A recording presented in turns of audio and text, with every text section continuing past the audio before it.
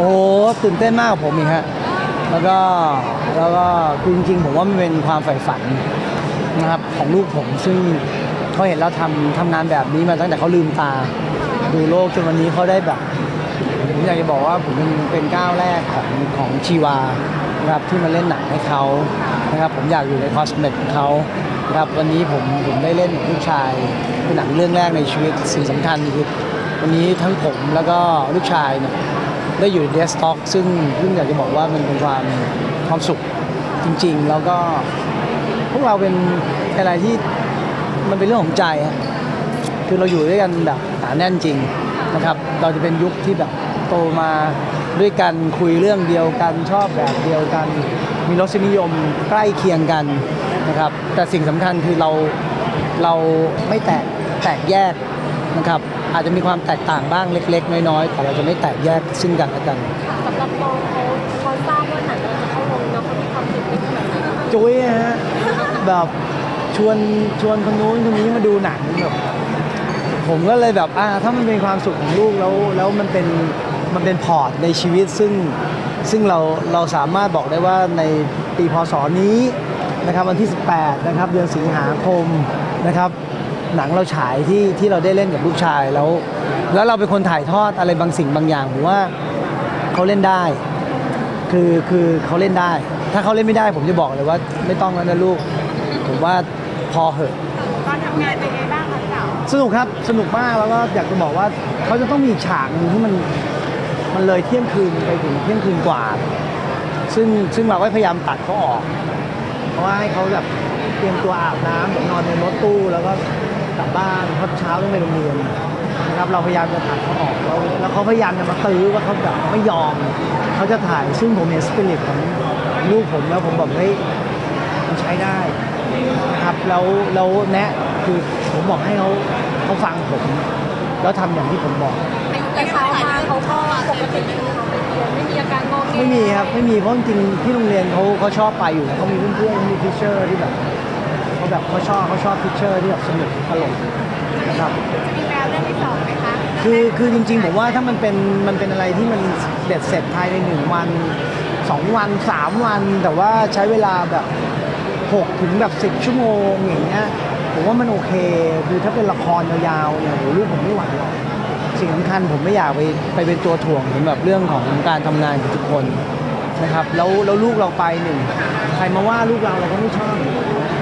นะครับ หรือเขาอยากจะว่าเขาก็ไม่กล้าอีกนะครับ ผมว่าจริงๆเราเราทำอะไรที่มันมันวินวินทั้งสองฝ่ายดีกว่า อย่างเงี้ยเพื่อนแล้วก็เขาเอาเอาเรามาเฮ้ยมันต้องมันต้องเราอะ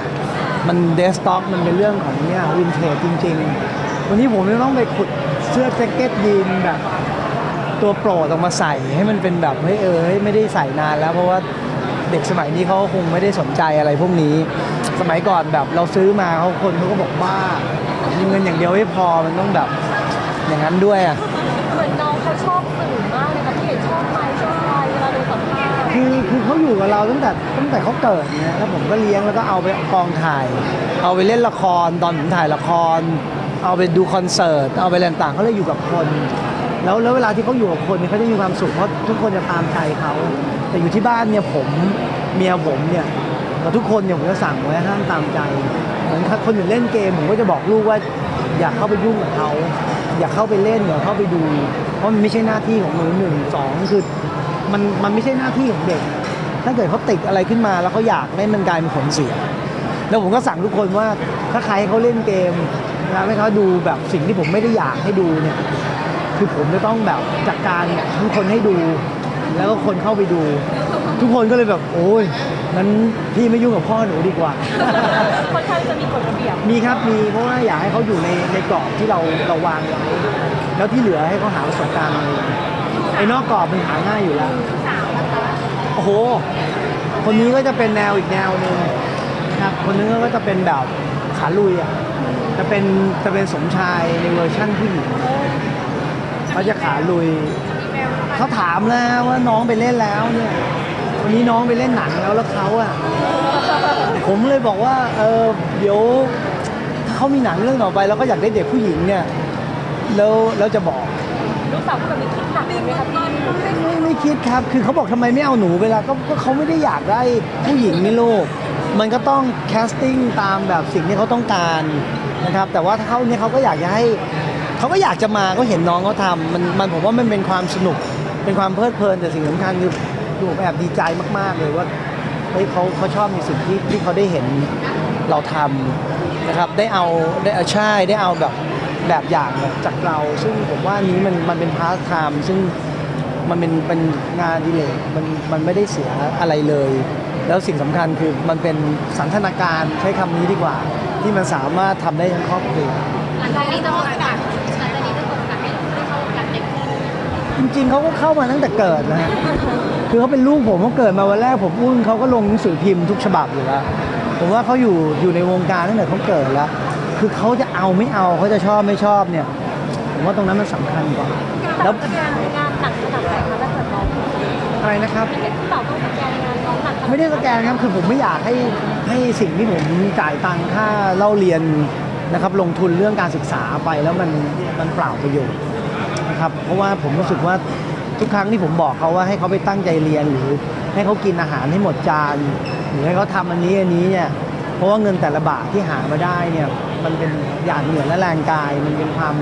อดทนของเราที่เราจะต้องสู้แดดสู้ฝนนะครับด้วยวัยอันจะสี่สามเนี่ยเรายังต้องแอคชั่นอยู่ซึ่งมันก็เป็นความสุขของผมในรูปแบบของผมบอกว่าเฮ้ยมันมันต้องใช้สิ่งที่แบบป้าไปทำมาเนี่ยให้มันให้มันคุ้มค่า ทุกนาทีทุกวินาทีเพราะว่าถ้าเกิดมันเป็นลูกกับป้าแล้วมันมันต้องทำไม่ได้ ถ้าทำไม่ได้ก็อย่าบอกเลยว่าเป็นลูกกับป้าเออคืออยากให้น้องโฟกัสเรื่องเรียนมากกว่าคือคือคือมันต้องเป็นอย่างนั้นอยู่แล้วครับ เด็กมีหน้าที่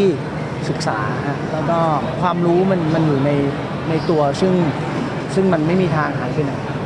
นะครับ งานพวกนี้เนี่ยชอบก็ทำนะครับสิ่งสิ่งที่เขาต้องการทำ ต่อไปก็คือมันก็เป็นเรื่องของอนาคตเขา ผมว่าคนเรามันมีความหลากหลาย มันมีสีสันมันมีจินตนาการได้ในชีวิต ผมว่ามันเป็นสิ่งที่ทำให้เขารู้สึกเพลิดเพลินอย่างบางคนชอบเล่นกีฬาบางคนชอบศิลปะต่างๆ ผมว่ามันมันเหมือนกันหมด อยู่ที่ว่าเขาชอบแล้วเราจะสนับสนุนแค่ไหนแต่ผมไม่ได้แบบว่าหลับหูหลับตาแบบลูกต้องทำลูกต้องทำผมไม่ใช่คน สิ่งที่เขาทำมันต้องใช่แล้ว แล้วถ้าเขาอยากทำแล้วผมรู้สึกว่ามันไม่ใช่ผมจะบอกเลยว่าอยู่บ้านเถอะจะมาสัมภาษณ์อ่าอยากมาสัมภาษณ์ดูสักหน่อยอะสักหน่อยแล้วของไม่เอาไม่กินเลยปล่อยครับครับอืมอะเขาอยากคุยกับหนูว่าลูกชอบเล่นละครชอบการแสดงไหมครับลูกชอบเล่นหนังไหมไหมครับพี่เต๋าอุ้มน้ำขึ้นไหน โตแล้วยืนเองเถอะชอบเล่นหนังชอบเล่นหนังไหมครับลูก ชอบครับ สนุกนะสนุกไหมคะเล่นหนังสนุกครับ สนุกให้เล่นเล่นอีกไหมลูก เล่นครับ ช่วยถามช่วยถามช่วยถามคนพาไปก่อน อยากเล่นเป็นใครอยากเล่นเป็นพระเอกไหมนะอยากเล่นเป็นใครครับเหรอ คุณพ่อเป็นไงบ้างคะ พ่อดุไหมพ่อดุไหมไม่ดูป้าโหดไหมไม่โหดอ่าป้าป้าใจดีไหมใจดีโอ้